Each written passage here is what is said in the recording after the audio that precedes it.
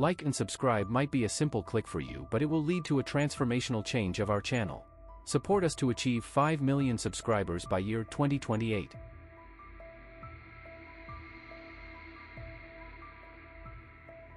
In the vast ocean, a woman's body plummets into the water, floating momentarily before her eyes snap open in terror. Suddenly, Brandon jolts awake, realizing it was just a nightmare. He serves as a bodyguard for the governor's daughter, Ava, and has been grappling with deep-seated guilt since failing to protect her mother. Brandon and Ava arrive at the airport, where Ava reunites with her friends, Jed and Kyle. They are embarking on a trip together, and the boys are displeased that Brandon is joining them, but Ava explains that her father wouldn't have allowed her to come without security. Once on the plane, Ava and the guys sit at the back for some privacy, and Ava finds it odd that there are so few passengers. Shortly after takeoff, the plane experiences minor turbulence, which is deemed normal. Moments later, the plane shakes again, and the engine appears to be overheating. The pilot informs the passengers that they inadvertently struck some birds and assures them there's no cause for concern. However, soon the plane shakes once more, and an engine catches fire. At that moment, the pilot instructs everyone to fasten their seatbelts. As panic sets in, a part of the engine breaks off and hits the side of the plane, killing a passenger. The resulting crack causes a pressure change, and everything inside the plane starts flying or shaking, with bags falling and hitting people on the head. Passengers who didn't fasten their seatbelts are thrown from their seats, even when trying to hold onto others. In mere seconds, a section of the wall blows out, creating a gaping hole that causes many people to be sucked out to their deaths. Brandon attempts to grab a floating man, but the wind is too strong, and the man is swept away. Another passenger tries to hold onto the seats, but the metal can't withstand the strain, and the seats, with the man still on them, fall off. A flight attendant attempts to assist another passenger, only to fall with him. After losing most of its passengers, the plane plummets at high speed and crashes into the ocean, where water quickly begins to flood it. Brandon is impaled by a piece of metal, and the seats are propelled forward by the impact, crushing many passengers. The plane sinks for a few minutes before coming to a halt when it gets lodged on the seabed. Due to the plane being stuck at an angle, an air pocket forms at the back, allowing Ava, her friends, and flight attendant Danilo to survive. However, Kyle suffers a broken arm. The group listens anxiously to the strange noises coming from the water. Suddenly, Brandon emerges, bringing Rosa and her grandmother Marty to safety. Marty is unconscious, so Danilo performs chest compressions, and after several tense minutes, Marty regains consciousness.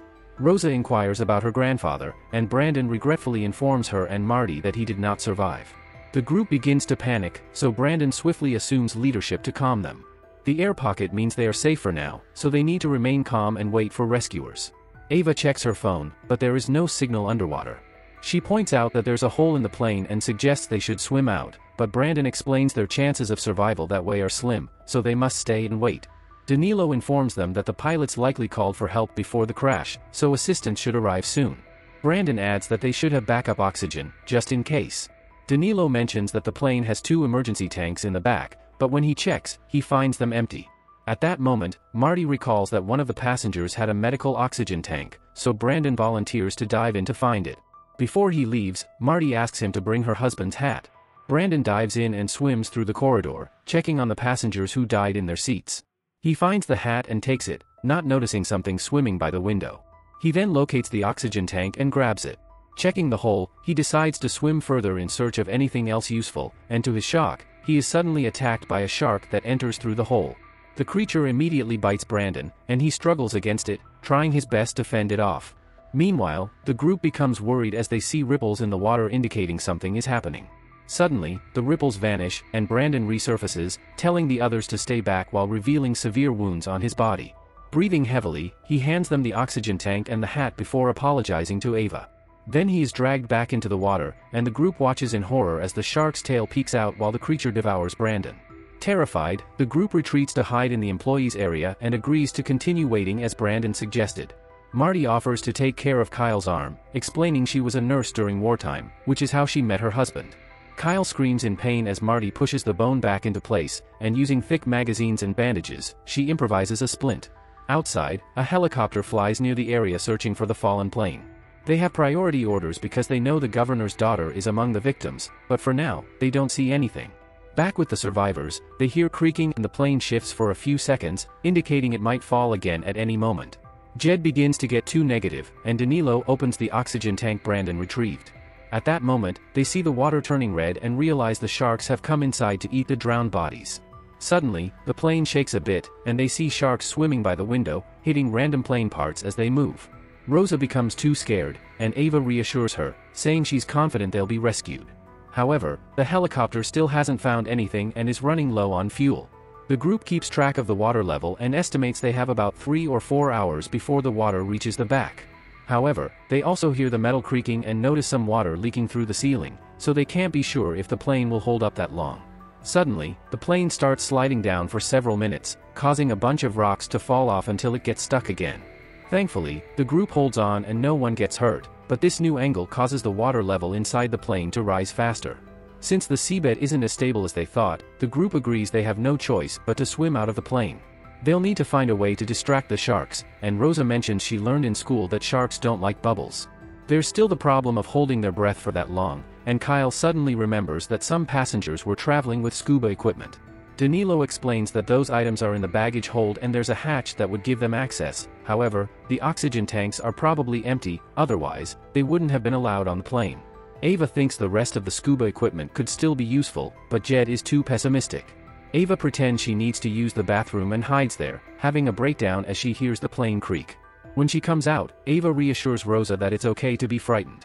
Outside, the helicopter has only 15 minutes of fuel left.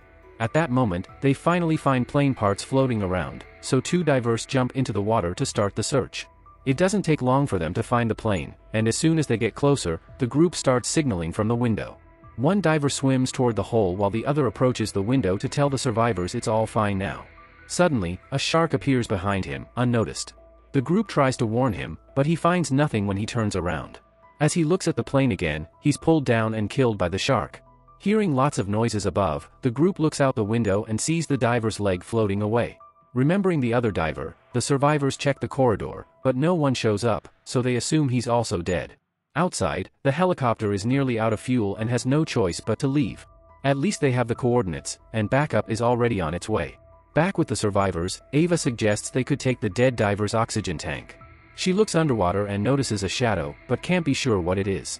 Jed tries to get a closer look by standing on the seats, only to slip and fall into the water. The group panics because they can't see him, but he surfaces laughing, having pranked them.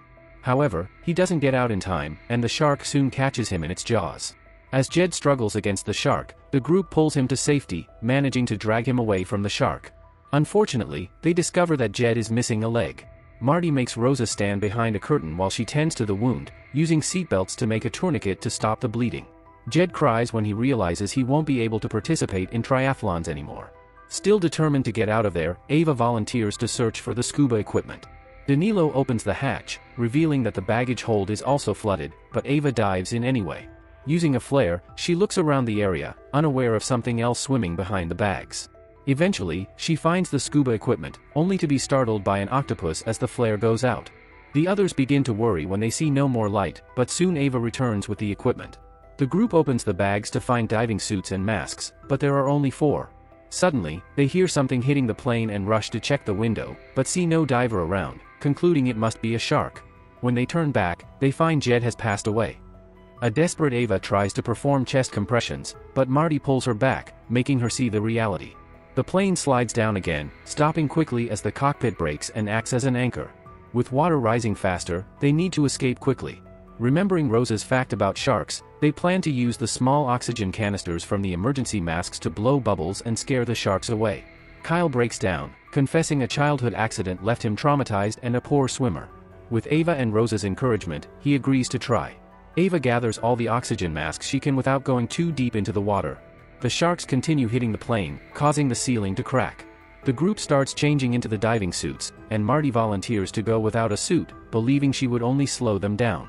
After a final goodbye to Jed, the survivors enter the water, noting the plane is starting to slide down again. Suddenly, the cockpit breaks and falls into the abyss, signaling the plane will soon follow. Marty asks Ava to go first and take Rosa with her. The girls start swimming through the corridor, encountering a shark blocking their way.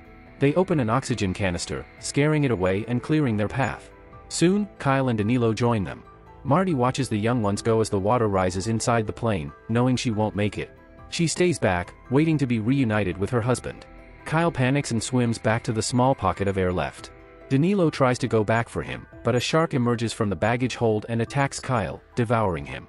Terrified, Danilo swims to meet Rosa and Ava, who find the dead diver and take his tank to fill their lungs.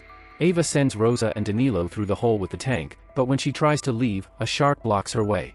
Ava swims back and freezes, allowing the shark to swim inside without noticing her, though its tail knocks off her mask.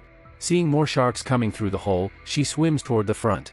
As the plane starts falling faster, the water pressure hinders her movement, but she holds onto the seats and pushes through, managing to escape through the front hole right before the plane plunges into the abyss. Ava begins swimming to the surface but soon runs out of air and passes out. Her body, supported by floaties, rises to the surface. She breathes as soon as she reaches the surface, waking up immediately. Panicked, she doesn't see the others, but helicopters arrive and rescue her. Danilo and Rosa have already been saved. When Rosa asks about her grandmother, Ava breaks the sad news. As a final goodbye to her grandparents, Rosa throws her beloved plushie into the water before falling asleep in Ava's arms. Make sure to subscribe and hit the notification button so that you don't miss any of our video updates.